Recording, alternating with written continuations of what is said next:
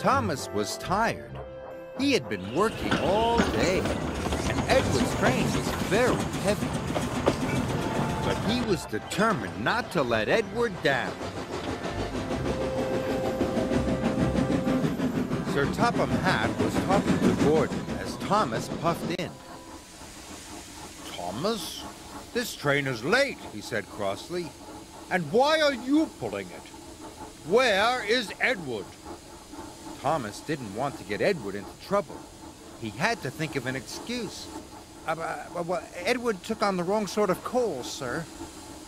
The wrong sort of coal? boomed Sir Topham Hatt.